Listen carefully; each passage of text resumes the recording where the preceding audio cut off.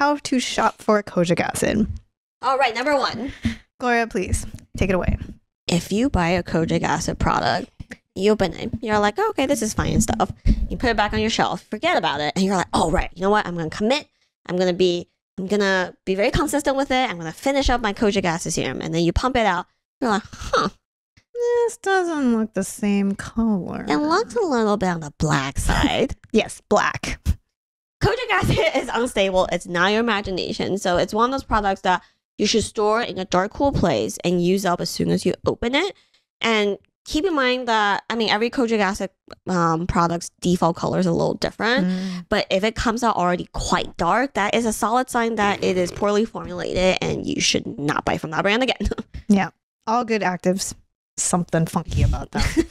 All right. So, knowing that, um, we do want to remind you that this is, again, one of those actives that please shop for the isolated compound. Don't actually shop for those general extracts that Gloria loves this. They always say rich in. Yeah, don't buy those. Yeah. Um, so, no kojic acid rich stuff. Yeah. Um, look for the actual kojic acid in the INCI.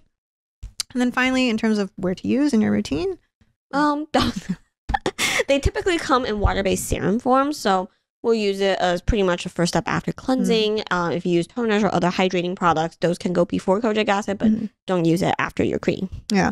And we will say most of the clinicals out there are using this twice a day. Mhm. Um, so keep that in mind. And also for percentages, we'd like you to try to aim for at least 1%. And this can get pretty hard because a lot of hyperpigmentation serums may add it, but it's not clear how much you're getting. And we will say a lot of them look like more just like a dash or sprinkle than an actual robust amount. Yeah, but side note, um, a one percent serum is like the goal here. For a while there, kojic acid soap is also really popular. Mm. Again, most of the studies we've seen is leave on use twice a day. Mm. Using it in soap form, it may or may not supplement your routine or like you know for your body pigmentation Mm. uh, as a helper. But we would say that's not the most um, the best way to get that one percent topical benefit that we're targeting. That's a good point. All right, let's walk through some products. So, um, Hyperskin, their hy- uh, brightening dark spot vitamin C serum, that one we know for a fact has 1% kojic acid. So, that's one area you can look at. Um, we actually do want to focus on SkinCeuticals uh, Discoloration Defense Dark Spot Serum. This one is great um, because they actually did a clinical and shared it in a publication. Classic, actually, I want to say this is actually a classic example of how kojic acid is used. It's used in combination um, with other actives. So in this serum, they're actually also including 3% tranexamic acid, which we also like.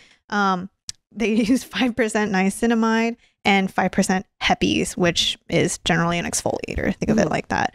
What we really like is they um, shared their clinical where they tested on 55 subjects. These subjects have hyperpigmentation, PIH, and melasma, Mhm. and they had these subjects use their discoloration defense serum for 12 weeks, twice a day. And we'll show their results here. They actually took some imaging, and this is the kind of imaging that we really like. It's standardized, the lighting is generally the same, um, and you can see some improvement after 12 weeks.